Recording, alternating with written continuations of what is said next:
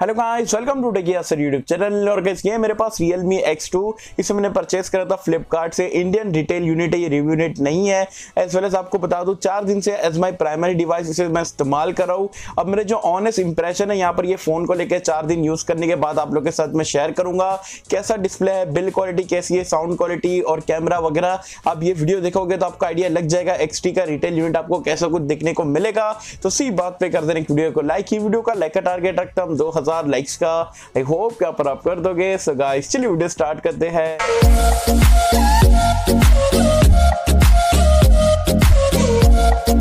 Friends video start कर लेते हैं। सबसे पहले तो आपको बता दूँ, मैं चार दिन कंटिन्यूसली यूज़ करने के बाद जो है, अपने जो ऑनेस्ट इंप्रेशन जो है इनिशियल इंप्रेशन जो आप बोल सकते हो, वो आप लोग के साथ में शेयर करो। मिनी रिव्यू टाइप का आप यहाँ पर ये वीडियो को समझ सकते हो। चलिए स्टार्ट करते हैं। यहाँ पर ये फ़ोन के बिल्ड क्वालिटी और इन हैंड फील को लेके तो इन हैंड फील मुझे ये फ़ोन का काफ़ी ज़बरदस्त लगा। रियल में एक्सटी जैसे ही आपको देखने को मिलता है, सबसे अच्छी चीज़ मुझे यहाँ पर डिवाइस की ये लगती है कि साइड से अगर आप देखोगे तो दोनों साइड में आपको कर्व दिया हुआ है तो आपके जो इन हैंड फील है वो काफ़ी ज़बरदस्त आता है। जो फिंगर के पास से जो कॉर्नर जाता है ना तो मतलब काफ़ी अच्छी तरीके से आपको डिवाइस में ग्रिप मिलती है। ऑल इन ऑल जो बिल क्वालिटी मुझे काफ़ी बढ़िया लगी है। गोरिल्ला ग्लास 5 के साथ में बैक पैनल मिलता है। हाँ बहुत सारे लोग पूछ रहे थे, भाई फ्रेम का है? तो फ्रेम आपको मेटालिक नहीं मिलती है। वो X2 Pro में मिलती है। X2 में जो आपको प्लास्टिक की फ्रेम देखने को मिलती है। लेकिन ओवरऑल प्राइस पॉइंट के हिसाब से build quality in hand feel मुझे काफ़ी ज़बरदस्त लगा है। लेकिन एक चीज़ आपको बताना चाहूँगा, आप ज़्यादा इस्तेमाल करोगे तो आपको जो है स्मजेस फिंगर के यहाँ पर लग जाते हैं। तो मैं बोलूँगा, अच्छी क्वालिटी का जो है ट्रांसपेरेंट केस के साथ में इस्तेमाल करना। तो काफ़ी बढ़िया यहाँ पर आपको look as well as build quality in hand feel देखने को मिलेगी। दूसरी चीज़ बात कर लेते हैं, यहाँ पर ये फ़ोन के डिस्प्ले को लेके बहुत सारे लोग यहाँ पर क्वेश्चन करें मैंने तीन से चार वीडियो ऑलरेडी ये फ़ोन पे डाल चुका हूँ। डिस्प्ले को लेके पूछ रहे कि भाई रियल में एक्सटी से क्या ये डाउनग्रेड वाला डिस्प्ले है? तो मैं आपको बता दूँ रियल में एक्सटी भी मैंने यूज़ कर चुका हूँ एक्स भी इस्तेमाल कर रहा हूँ। दोनों डिस्प्ले में मुझे कोई भी डिफरेंस देखने को नहीं मिला है। सिक्स इंच का जो है सुपर एमोलेट वाला डिस्प्ले है बेजल्स आपको काफ़ी कम देखने को मिलते हैं। सो काफ़ी अच्छा यहाँ पर आपका एक्सपीरियंस रहता है। पंची डिस्प्ले आप इसे बोल सकते हो, थोड़ा कॉन्ट्रास्ट है ओवर सेचुरेटेड आप थोड़ा बहुत बोल सकते हो। लेकिन जो डिस्प्ले की क्वालिटी है और मल्टीमीडिया या मूवीज़ वगैरह आप देखते हो, ये गेम भी खेलते हो तो काफ़ी ज़्यादा आप इंजॉय करोगे यहाँ पर ये डिस्प्ले के साथ में और टच सेंसिटिविटी और टच रिस्पॉन्स की अगर हम बात करें तो काफ़ी स्मूथ डिस्प्ले है आपको। डिस्प्ले से लेकर कोई भी प्रॉब्लम देखने को नहीं मिलेगी। Ten out of ten price point को देखते हुए मैं डिस्प्ले को दूँगा।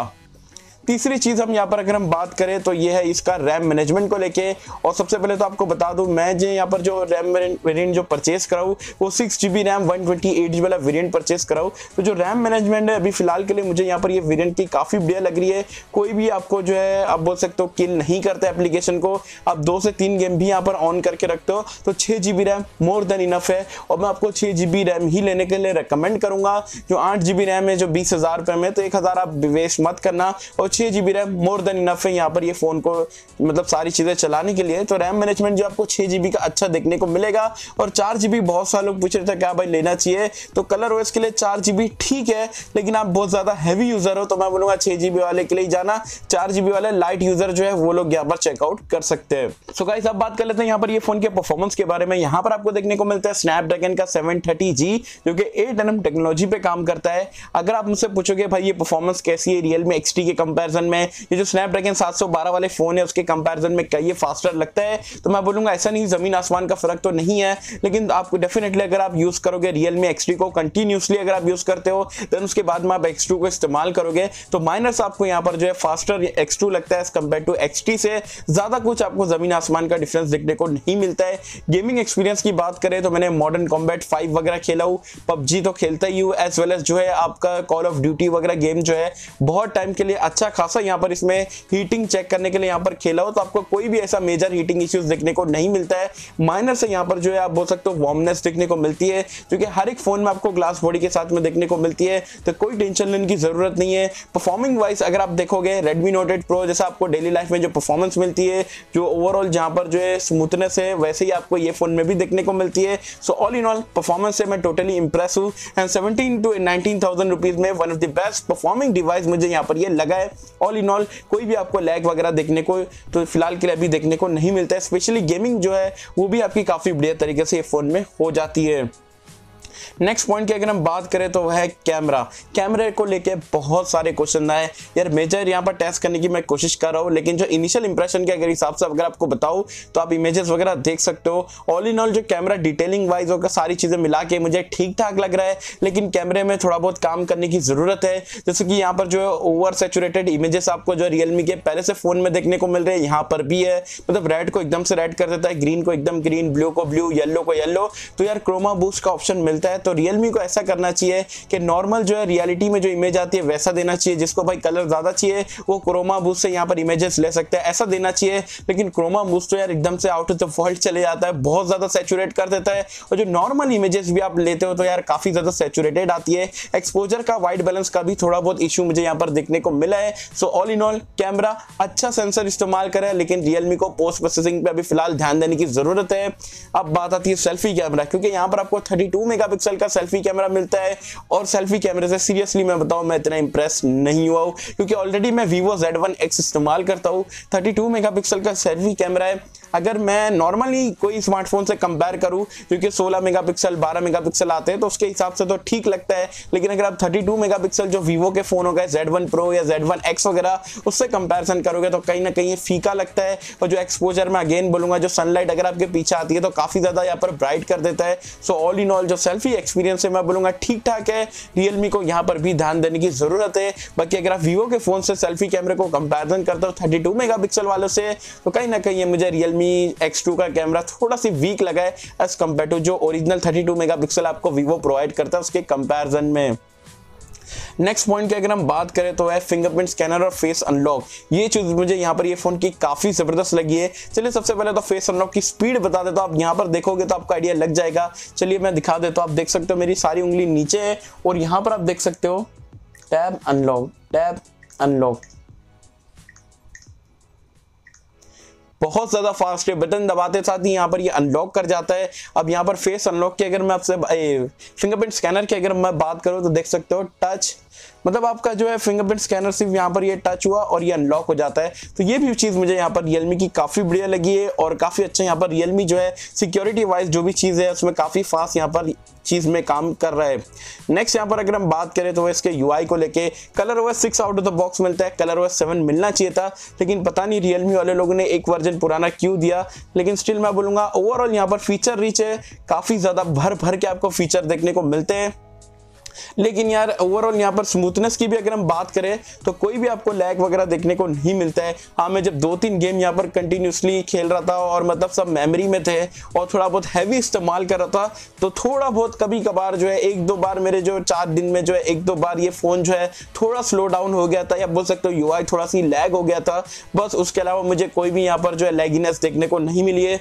ओवरऑल यूआई अच्छा है, लेकिन थोड़ा बहुत यहाँ पर ऑप्टिमाइजेशन की यू को भी ज़रूरत है। और ब्लोटवेयर भर भर के दिए अनइंस्टॉल कर सकते हैं। वैसे रियलमी को ब्लोटवेयर नहीं देना चाहिए था, ये मेरे हिसाब से ऐसा मुझे लगता है। सो गाइस नेक्स्ट पॉइंट की अगर हम बात करें तो बहुत सारे लोग पूछ रहे थे, भाई साउंड क्वालिटी फ़ोन की कैसी है?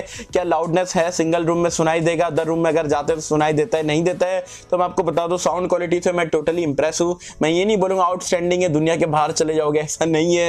लेकिन स्टिल जो मिड रेंज सेगमेंट के स्मार्टफ़ोन है, उसमें यहाँ पर जो क्वालिटी वाइज मुझे काफ़ी ज़बरदस्त लगा है। लाउडनेस भी काफ़ी मुझे यहाँ पर ये फ़ोन की डिसेंट लगी है। चलिए, मैं एक सैंपल आपको यूट्यूब पर से प्ले करके बताता हूँ, जिससे आपको आइडिया लग सकता है। माइक में मे भी अच्छे से कैप्चर हुई हुई, नहीं हुई है जो भी है, लेकिन फिर भी मैं आपको यहाँ पर सुना देता हूँ।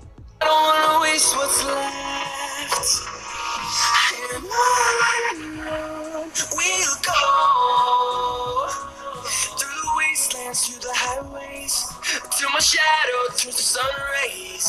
And on and on, we'll go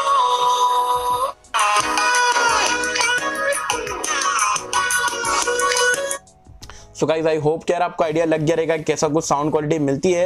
लेकिन मुझे यहाँ पर साउंड क्वालिटी ये फ़ोन की काफ़ी बढ़िया लगी है और हेडफोन पे भी मैं टोटली यहाँ पर इसे इस्तेमाल कराऊँ और हेडफोन में भी आपको काफ़ी बढ़िया जो आउटपुट देखने को मिलता है। नेक्स्ट है बैटरी लाइफ बहुत सारे पूछे थे, भाई बैटरी लाइफ कैसी चलती है?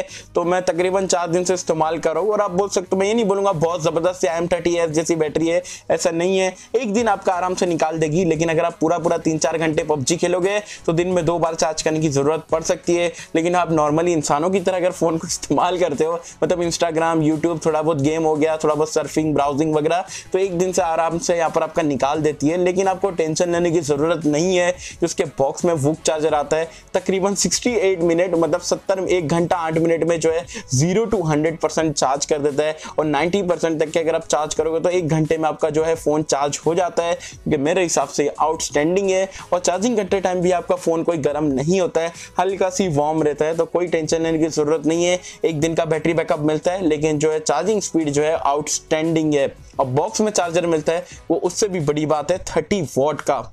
नेक्स्ट यहाँ पर और लास्ट क्वेश्चन पूछ रहे क्या ये डिवाइस आपके हिसाब से वैल्यू फॉर मनी है या नहीं है? तो डेफिनेटली मैं बोलूँगा, ये अभी फ़िलहाल मैंने चार दिन इस्तेमाल कराऊँ तो मुझे यहाँ पर ये वैल्यू फॉर मनी लगा है, क्योंकि ये वेरिएंट जो मैंने परचेस करा ये उन्नीस हज़ार रुपये में लिया हूँ तो ये वेरिएंट मुझे सबसे बढ़िया लगा उन्नीस हज़ार वाला, क्योंकि रैम भी इनफ मिल जाती है स्टोरेज भी इनफ मिल जाती है, और उन्नीस हज़ार रुपये में मैं बोलूँगा ओवरऑल एक आप बोल सकते हो ऑलराउंडर टाइप का स्मार्टफ़ोन है। थोड़ा बहुत यहाँ पर जो है सॉफ्टवेयर में और कैमरे में स्पेशली यहाँ पर रियलमी को काम करने की ज़रूरत है, अगर वो कुछ चीज़ें यहाँ पर अपडेट से सॉल्व हो जाती है। I can say this is one of the best smartphone under twenty thousand rupees ऐसा गारंटी मैं बोल सकता हूँ, लेकिन रियलमी वाले के ऊपर काम करेंगे अपडेट्स देंगे और जो ऑप्टिमाइजेशन वगैरह पोस्ट प्रोसेसिंग पे ध्यान देंगे कैमरे डिपार्टमेंट में डेफिनेटली ये फ़ोन यहाँ पर मार्केट में आग लगा सकता है। ऑल इन ऑल मुझे यहाँ पर ये फ़ोन काफ़ी ज़बरदस्त लगा है। वैसे थोड़ा और दिन का वेट कर लो फुल रिव्यू लाने की कोशिश करूँगा और डिटेल में आपको बताने की कोशिश करूँगा। तो गाइस ये थे मेरे यहाँ पर जो है चार दिन के इनिशियल इंप्रेशन ऑनेस्ट ओपिनियन जो आप लोग के साथ में शेयर करना था। आई होप कि आपको एक आइडिया लग गया रहेगा कि कैसा कुछ यहाँ पर ये आपको फ़ोन देखने को मिलता है रियलमी एक्स टू और क्या मुझे कमेंट सेक्शन में बताना कि आपने रियलमी एक्स टू परचेस करे हो नहीं करे ये करने वाले हो और आपको Realme X two value for money लगता है ये नहीं लगता है? और आपके आपके हिसाब से जो है बीस हज़ार में सबसे बेस्ट स्मार्टफ़ोन इंडिया में भी फ़िलहाल कौन सा देखने को मिल रहा है? मुझे बताना नीचे कमेंट्स में। सो होप कि मुझे आपको वीडियो पसंद आई होगी और अगर आपको वीडियो पसंद आए तो लाइक करें शेयर करें चैनल को सब्सक्राइब कर देना। मिलता है आपसे किसी वीडियो में जब तक के लिए.